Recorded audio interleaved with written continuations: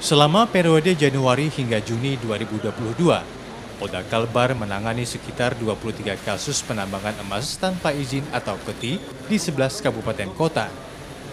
Total tersangka yang ditangkap sebanyak 75 orang, mulai dari pekerja tambang, penampung, pengangkut, pengolah hingga pemodal besar.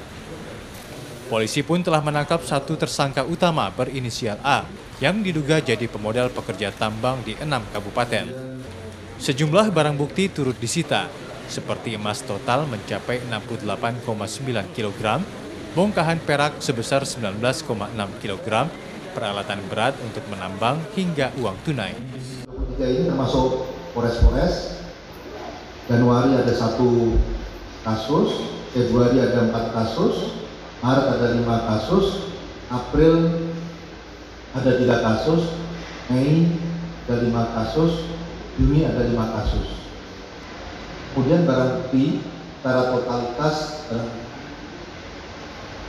31,4 kg emas untuk olahan tahap awal. Tahap awal itu yang belum menurut ahli, tahap awal itu yang belum ada campuran-campuran zat yang lain, belum ada pelepasan-pelepasan mineral-mineral yang lain.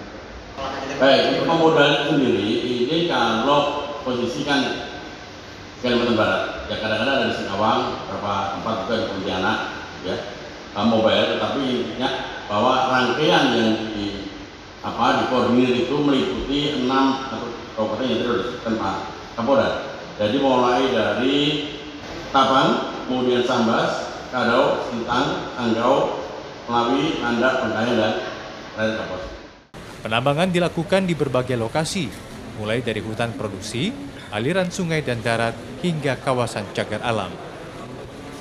Para tersangka dijerat dengan berbagai pasal sesuai peran, dengan ancaman hukuman penjara mulai dari 3 tahun hingga 15 tahun, dan denda paling banyak sebesar 100 miliar rupiah. Anugerah, Kompas TV, Pontianak, Kalimantan Barat.